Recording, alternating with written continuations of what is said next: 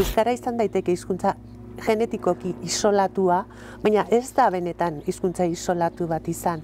Eta herri bezala ere, kulturalki eta bar ez gara inoiz isolatuak izan. Gust, guztiz kontrara. Uste dut pentsatu behar dugula astiro eta lasai elebitasuna zenbat eta gehiago jakin hortaz. Egoera hobeago baten egongo gara hizkuntza politika eragonkirrak eta ekimen eraginkorrak egiteko.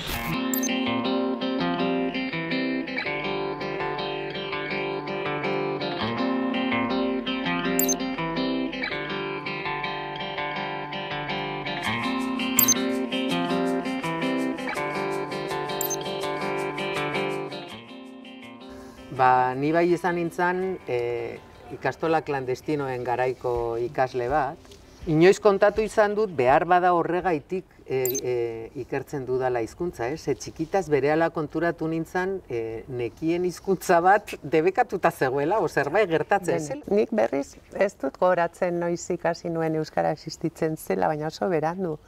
E, egoten ziren gazte izen, orain paisaia linguistikoa deitzen den horretan, egoten ziren orainik e, e, errotulo batzuk e, gero ikasi nuen bezala euskaraz ipinitakoak, goatzen naiz bidean beti zegoela bat, izugarri harritzen ninduena erre gangardun bat zeukalako. Ah. Eta nik ez nekien hori zer zen da, bai. beira, hor, hor piztuko zen hizkuntza aztertzeko, zea, grafia aztertzeko, zea, esaten zer demontre da hori, ez da?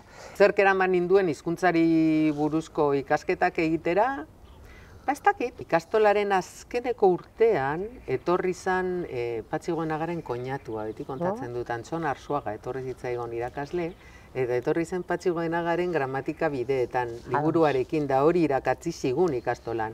Eta ni horrek asko flipatu ninduen, ze. Bai. Etzegoen amaituta, hau da, egiteko gauza bat zan, Alako batean, hizkuntza zen relogeria mekanismo bat bestelako e, makineria bat. Kasi eratik argi neukan hizkuntza, bueno, filologiaren bat egin nahi nuela. Eta nire zera zen, Bartzelonara joatea semitikak egiten. Baina hau da hartan, e, edabideetan propaganda inzioten mitxelenari, bueno, gazteizko edabideetan agertu zen, eta beraren e, elkarrizketa baten zunda esan nuen, ze semitika eta ze semitika euskara egingo dut. Artean oso euskara gutxinekien itziar horrekin gogoratzen az, bai? gogoratzen, bai? txarto, txarto Baina hori miresteko gauza bat zan, ez?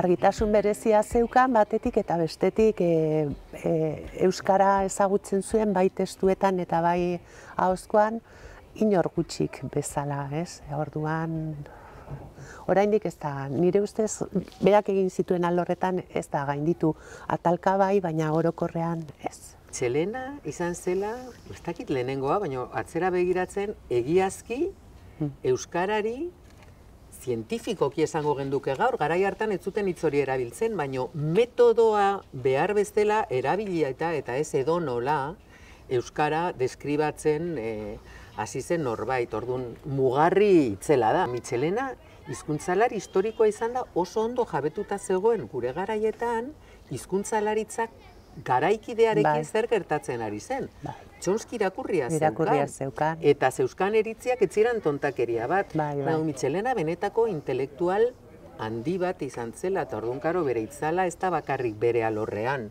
Yes. eta Euskararekin ikutzen dutenak, Mitxelena etzen izan bakarrik, eta nik uste dugu ere saiatzen garela hori egiten, akademiko bat bere dorretxoan bizi izan zena. Mm. Denok dakigu... Zaldi bestela esan arret. Eh, zelako liskarrak, zelako liskarrak eta nola sartu zen, eta Euskara bai. batua gaur egun hemen baldin badaukagu, neurri handi batean, eskerrak, emitzelenaren neurriko hizkuntzalari bat zegoela, tartean sartuta, garai hartako gazteekin, Sarasola, Aresti, gazte, behar bada inbeste etzekiten, baino borondatitzela bai. zeukaten gazteekin mitxelena bezalako norbait zegoela, ze hartu zituen erabakiak garai hartan eskandaluzkoak izan bai. ziren. Bera bat, askarra zen alde horretatik nik uste. Orduan borroka alatzena Gipuzkoa Bizkaia zen eta hortik atera zuen eta hori oso urrats interesgarria izan zen. E, esan dezagun politikoki, ez?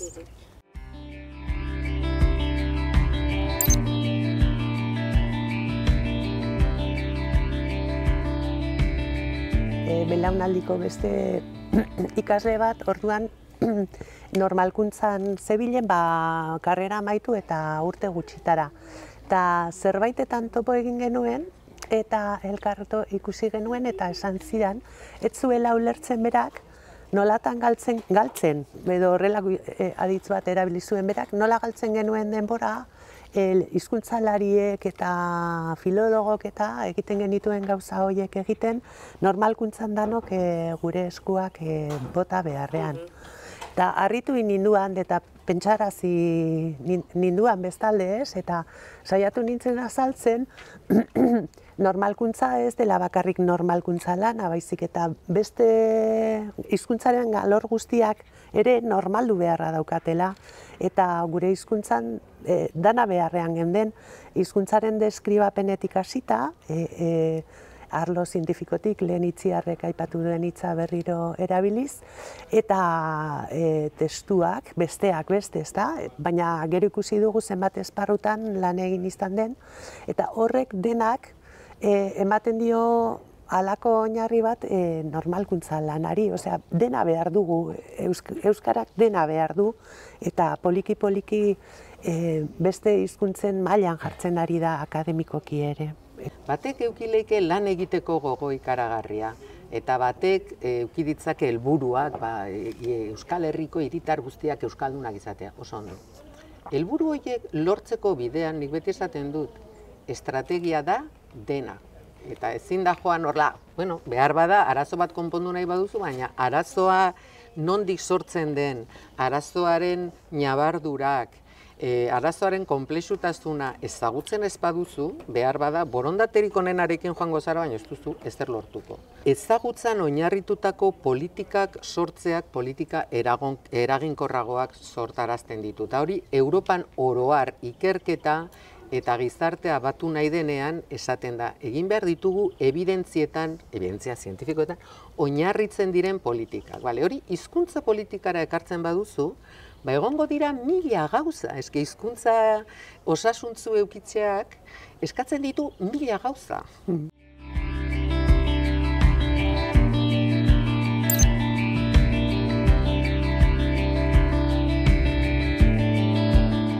Ba, elebinun batek hizkuntza kudeatzen dituenean, orain naiz luzatuko eta bat emango, baina ez da simetrikoa hizkuntzen aldaketa.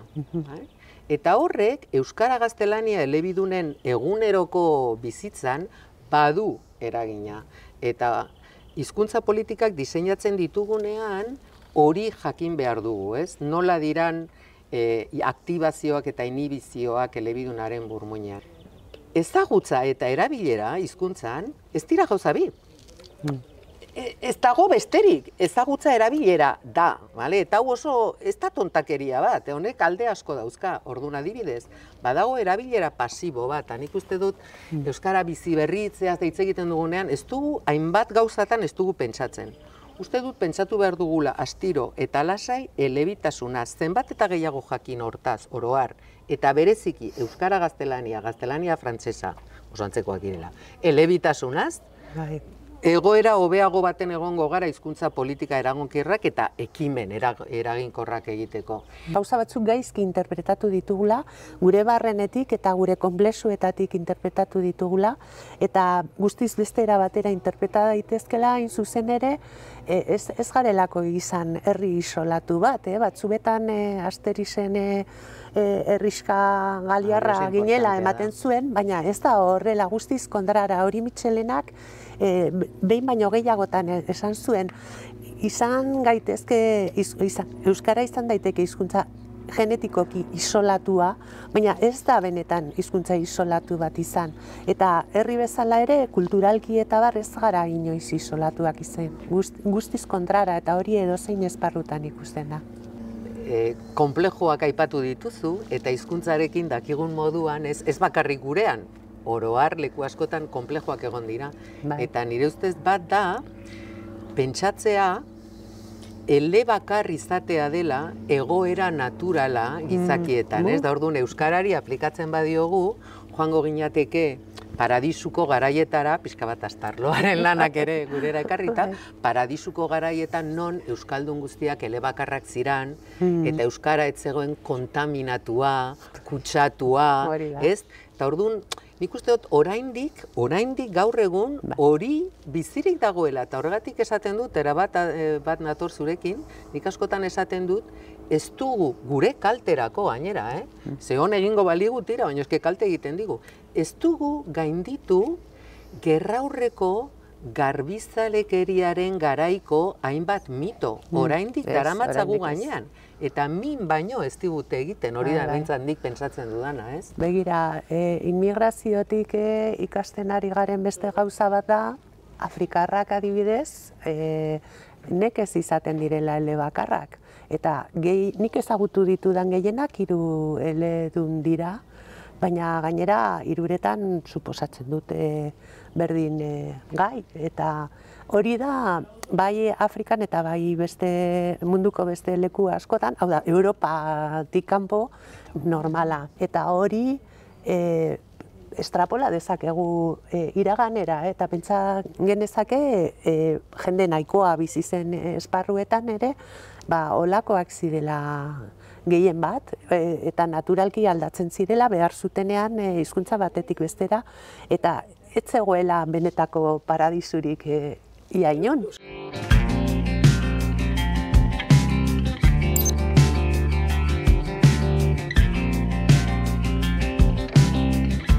Gustatzen zait irakastea, baina bere neurrian. Ez zait gustatzen irakaskuntza gehiegi daukazunean, ze ez daukazu pentsatzeko astirik eta ez daukazu heltzeko astirik.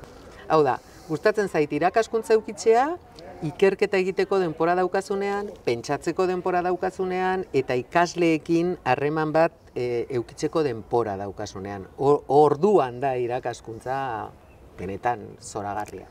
Gero orain edatu da irakaskuntza oso neurtua egiteko joera. Mitxelena etortzen zan klasera eta azten goratzen zara, azten zan e, lineoren izena arbelean marrasten eta azten zan kontatzen lineok zer egin zuen e, e, biologian. Eta egoten zan igual eskolaren zati handi bat horretaz hitz egiten. Eta gero hori lotzen zuen bapatean e, hizkuntzak sailkatzeko lehen aipatu ditugun bi moduekin, ez dakit, eta e, egiten zuen ez zuelako zehazki programa bat e, klase horretan hau esan behar dut askeago zen eta alde horretatik denbora gehiago ere zeukalako pentsatzeko ziurrenik eskola bakoitza izan zitekeen bere oparitxo bat eta ez nahi eta nahi ez erabat programatutako gauza el, elatatu bat. zenbat eta gehiago aldentzen garen programatik, osea, aurkeztu dizuedan programatik, hobeto gabiltzan seinale. Beitu. Ze programatik aldentzen gara noiz, zerbaiten gainean hitz egiten hasi garenean klasean. Orduan, egia da, geroz eta konformatuago datorrela dena, orduan nik uste dut batzutan, batek katedraskatasuna oraindik dauka, zuketanik badaukagu. Bai, bai, bai. Egin behar duguna nire ustez da, bueno, erabili, Bai. erabili. Ze azkenean irakasleak daki zer dan, osea, irakasleak euki behar du ardura hori, zer dan ikasten dena. Eta egia da. errezago dela e, askatasunean aritzea, masterretan eta gradu ondokoetan, ze gradua oso gauza nertua da, baina ikuste dut graduan ere la, egin behar dugula hori. Esan, esan Hmm. ba, bira, ba nik gaur egingo dut, ez dut programa egingo, eta egingo dut beste gauza bat, ez? Ze gero, batez ere gaur egun ikasleek dana eskura daukatela, mundu zaratatsu horretan, baina egon egon Bai. dana eskura dago, ez? Bai. Orduan, pena da dana eskura egon da, ezin dugula, ez, zuk esan duzun bezala, e, klasean ba, mitxelen aritzen zen bezala.